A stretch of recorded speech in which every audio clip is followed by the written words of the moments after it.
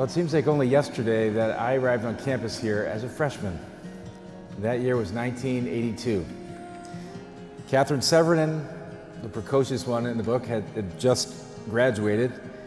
Gary was in his senior year. And two doors down from me in Pangborn Hall was a guy from Verona, New Jersey named Dan Pacifico. A year, a year later, Colleen came to Notre Dame.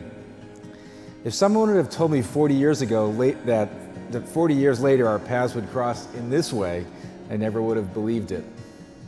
Yet here we are today to celebrate this very special moment with the Severin and the Pacifico family, coming together in this very special place on this very sacred day with these very two special people, Brian and Kelly.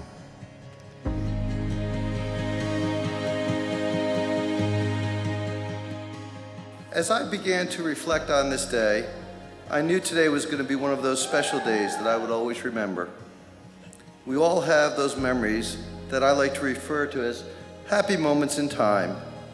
Those are those special moments that we savor for eternity, like the day I married Colleen, the days both my daughters were born, and now today.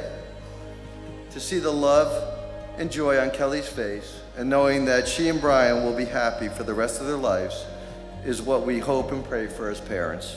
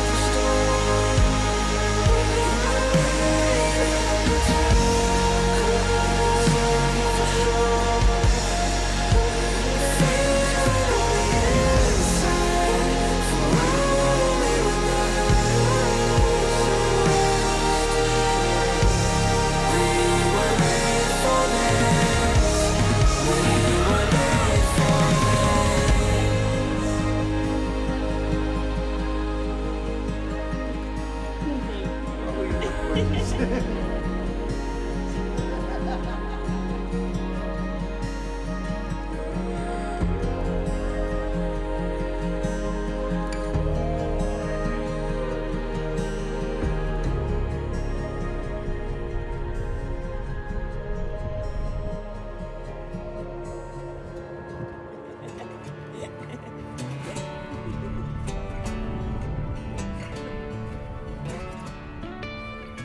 So how did we get to this happy moment in time?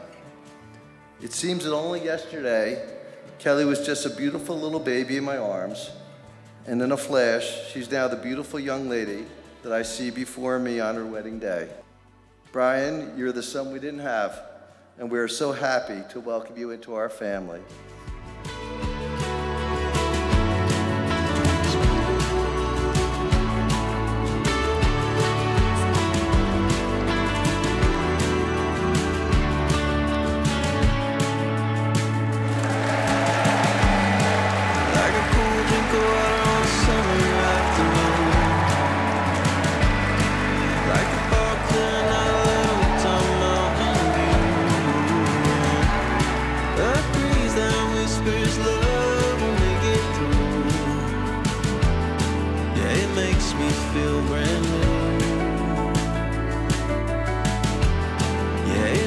me feel brand new. Just one moment with you.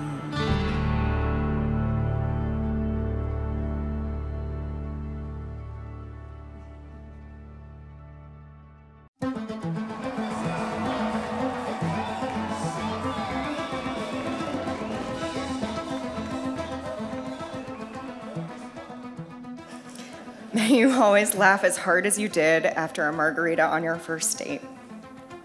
May you always sing as joyfully as you did when you saw The Lion King together. May you always love each other as to love with all your soul. Cheers to you, Brian and Kelly. I wish you a life of love and happiness together.